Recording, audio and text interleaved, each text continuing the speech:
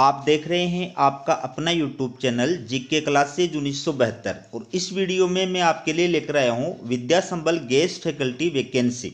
अगर आप चैनल पर नए हैं तो चैनल को सब्सक्राइब ज़रूर कीजिएगा। चलिए वीडियो की शुरुआत करते हैं। ये आप देखिए, राजकीय महाविद्यालय गोविंदगढ़, अलवर। विज्ञप्ति। तो दोस्तों, इस वीडियो के अंदर मैं आपके लिए कम से कम सात महाविद्यालयों की विज्ञप्ति लेकर आया हूँ। ठीक है?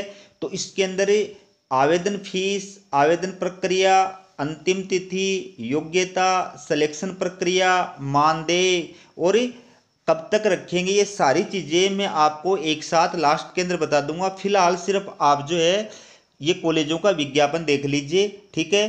तो इस महाविद्यालय में आवेदन करने की जो लास्ट डेट है, वो है 9 मार्च 2024 ठीक है? विषय आप इसमें अच्छी तरह पढ़ लीजिए, ठीक है?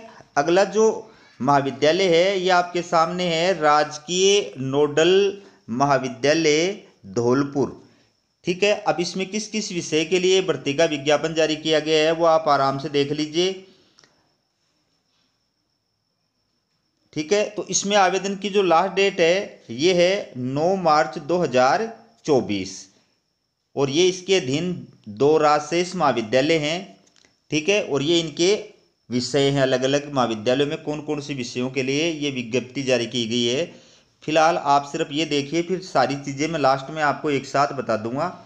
अगला जो महाविद्यालय है, ये है सेठ आर एल सहरिया राजकीय पीजी महाविद्यालय कालाडेरा। इसके द्वारा ये विज्ञप्ति जारी की गई है। तो इसमें आप देख सकते हैं, इसमें जो आवेदन की लास्ट डेट है, वो है 11 मार्च 2024 ठीक है? अब ये इसके अंदर दो राशेष महाविद्यालय इस नोडल महाविद्यालय के अधीन दो राशेष महाविद्यालय हैं और ये इनके लिए अलग अलग विषय के लिए विज्ञापन जारी किया गया है। तो आप इनको आराम से देख लीजिए। अगला जो महाविद्यालय है, ये है राजकीय कन्या महाविद्यालय गोविंदगढ़, जयपुर। इसके द्वारा ये विज्ञप्ति जारी की गई है। तो इसमें आवेदन की जो लास्ट डेट है, ये है 11 मार्च 2024 साय पाँच बजे तक। इसमें किस किस विषय के लिए विज्ञापन जारी किया गया, वो विषय भी आप इसमें आराम से देख सकते हैं। ठीक है? अगला जो महाविद्यालय आपके सामने है, राजकीय कन्या महाविद्यालय दूनी टोंक ठीक है? इसके द्वारा ये विज्ञप्ति जारी की गई है। तो ये पूरी विज्ञप्ति आप देखिए। इसमें आवेदन की जो लास्ट डेट है, वो है 11 मार्च 2024 दोपहर दो बजे तक। और किस किस विषय के लिए आवेदन फॉर्म आमंत्रित किए गए हैं, वो आप इसमें देख लीजिए। फिर अगला जो महाविद्यालय है, ये है राजकीय महाविद्यालय नांगल राजावतान दोसा। इसके द्वारा ये विज्ञप्ति जारी की गई है। तो इसमें जो आवेदन की लास्ट डेट है, वो है 9 मार्च 2024 और इसमें किस किस विषय के लिए ये विज्ञापन जारी किया गया है, वो आप विषय भी देख सकते हैं। ठीक है? अगला जो महाविद्यालय है, ये आपके सामने है राजकीय महाविद्यालय जायल, नागौर। इसके द्वारा ये विज्ञप्ति जारी की गई है। तो ये आप देखिए। अब इसमें जो आवेदन करने की लास्ट डेट है, वो है 11 मार्च 2024 दोपहर तीन बजे तक। ठीक है?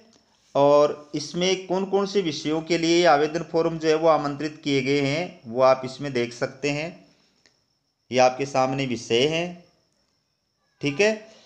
अब अगला जो महाविद्यालय है, ये है राजकीय नेहरू मेमोरियल महाविद्यालय हनुमानगढ़।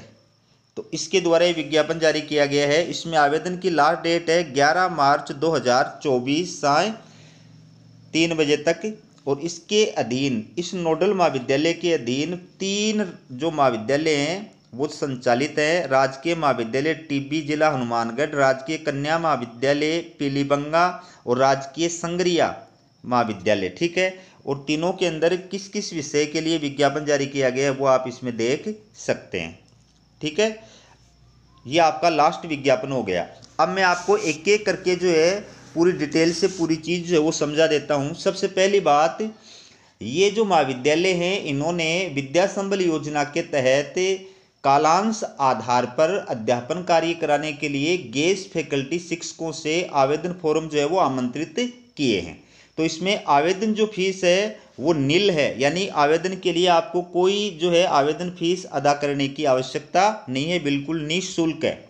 दूसरी बात, आवेदन फॉर्म आप कहाँ से प्राप्त करें? तो आप चाहें तो ये जो कॉलेज हैं, इनकी जो ऑफिशियल वेबसाइट है, वहाँ से आवेदन फॉर्म डाउनलोड कर सकते हैं। आप चाहें तो आयुक्तालय कॉलेज जयपुर की ऑफिशियल वेबसाइट से डाउनलोड कर सकते हैं। आप चाहें तो हमारा टेलीग्राम चैनल है, जीके क्लासेज उन्नीस उसको सब्सक्राइब कीजिएगा। वहाँ पर मैंने पीडीएफ डाल रखा है, वहाँ से आप प्राप्त कर सकते हैं, वो आपकी इच्छा है।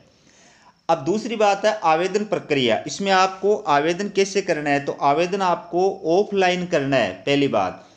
आपको महाविद्यालय की ऑफिशियल वेबसाइट से फॉर्म वगैरह जो डाउनलोड करना, वो प्रक्रिया मैंने आपको बता दी। अब उस आवेदन फॉर्म को पूर्ण रूप से भर करके और उसके साथ में अपने जो एकेडमिक डॉक्यूमेंट्स हैं एकेडमिक डॉक्यूमेंट्स के अंदर जो अंक तालिका है प्रमाण पत्र है और डिग्री है। ठीक है, जैसे बीए होती है एमए होती है, उनकी डिग्री होती है, उनका प्रमाण पत्र नहीं होता है तो वो प्लस अपना जो एक्सपीरियंस सर्टिफिकेट है जितने साल का आपको एक्सपीरियंस है, वो सर्टिफिकेट उनकी self attested photocopy research paper उनकी सेल्फ अटेस्टेड फोटोकॉपी अगर आप आरक्षित कैटेगरी में अप्लाई कर रहे हैं तो कास्ट सर्टिफिकेट की सेल्फ अटेस्टेड फोटोकॉपी अगर कोई सेमिनार वगैरह अटेंड किया हुआ तो सेमिनार की सेल्फ अटेस्टेड फोटोकॉपी ये सारी जो आपको सेल्फ अटेस्टेड करके आवेदन फॉर्म के साथ लगाने हैं और इनको लिफाफे में डालना है। और लिफाफे के ऊपर जो आपको लिखना है विद्या संबल योजना के तहत जो है गेस्ट फैकल्टी, अतिथि शिक्षक के लिए आवेदन पत्र और फिर अपने विषय का नाम लिखना है, ठीक है? फिर आपको जो एड्रेस लिखना है, जिस कॉलेज के द्वारा, जिस नोडल कॉलेज के द्वारा ये विज्ञापन जारी किया है तो उसके श्रीमान प्राचार्य और उस नोडल कॉलेज का नाम, फिर वो किस स्थान पर है, वो फिर किस ज़िले में है, वो उसके पिन कोड नंबर और बाई साइड में आपको जो है अपना खुद का एड्रेस लिखना है। एक चीज़ का आपको विशेष रूप से ध्यान रखना है कि जो आवेदन फॉर्म है, उसके ऊपर ही ऊपर आपको उस कॉलेज का नाम लिखना है, जिस कॉलेज के लिए आप अप्लाई कर रहे हैं। फॉर एग्ज़ाम्पल जैसे ये आपके सामने दिया हुआ है, राजकीय नेहरू मेमोरियल महाविद्यालय।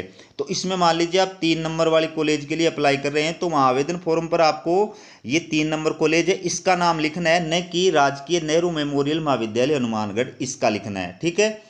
अब बात करते हैं अंतिम तिथि। तो अंतिम तिथि हर विज्ञापन की मैंने आपको बता दी। योग्यता क्या है? कौन अभ्यर्थी इसमें अप्लाई कर सकता है? तो असिस्टेंट प्रोफेसर के लिए जो योग्यता है, पहली योग्यता तो है कि संबंधित विषय में, जिस विषय में आप अप्लाई कर रहे हैं, उस विषय में या संबद्ध विषय में पिचपन प्रतिशत मार्क्स के साथ में आपके पास में मास्टर डिग्री यानी पीजी की डिग्री होनी चाहिए।